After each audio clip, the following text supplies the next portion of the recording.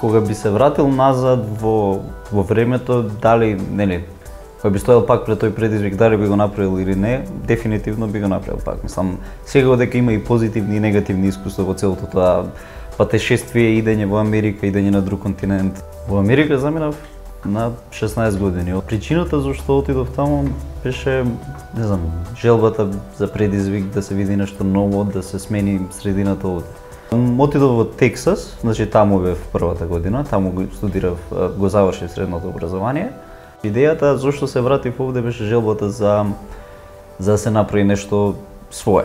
Желбата да се помине времето и со оние што се околу мене, што ми ја дава таа енергија да направам, што ме мотивираат и желбата да нели, она што сум го видел таму, го аплицирам овде. Тука има доста голем потенцијал, не само Македонија, цела југоисточна Европа, значи а, има голем потенцијал посебно за за едни интересни индустрии како што се информатичка технологија, како што се, нели, мал милион други, конкретно зборувам за она мојата. Почнавме како прва интерактивна маркетинг агенција во Македонија. А она што го работиме не го работиме само на македонскиот пазар. Имаме клиенти од Македонија, имаме клиенти од Норвешка, од Америка, имаме партнери на сите страни. Оно што го работам, значи го работам буквално со, со цело срце. Дали компанијата во Македонија или во било која друга земја секогаш ќе има тешкоти, секогаш ќе има проблеми со нели со доспејани фактури, недоспејани фактури, со не знам недоразбирање меѓу клиенти.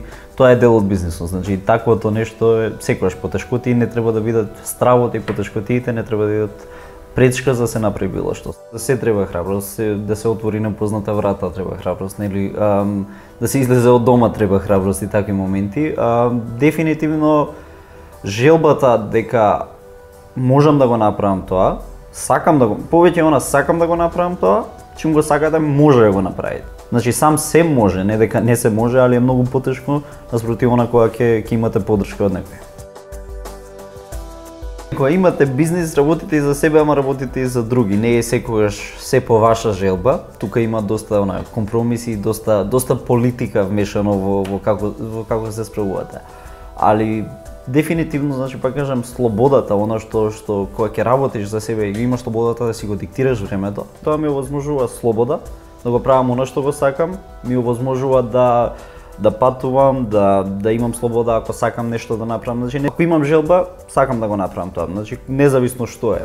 Особено, значи, во, не знам, она што што црпа мотивација се патувањата. Значи, а, шетање, конзумирање на нови информации, на нови средини, на, на такви ствари.